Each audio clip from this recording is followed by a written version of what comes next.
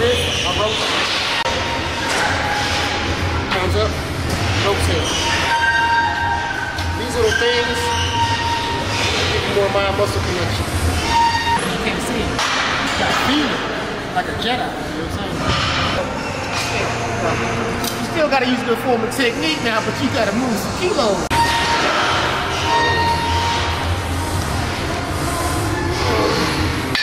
So what I'm trying, what I think of, so for me this is a pose. So I'm on stage and I'm doing this. So now I'm training this here now, here now.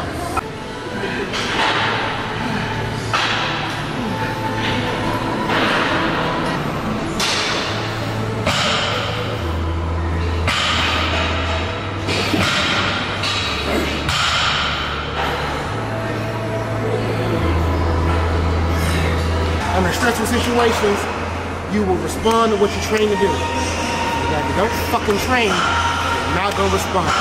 And then you panic. 15 assists, no turnovers. so here, there's multiple ways to do this. I go nice in here, boom.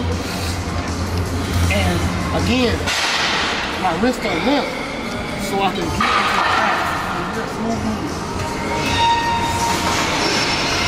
And don't worry, we're gonna take our shirts off, but I gotta, we gotta pay the bills first.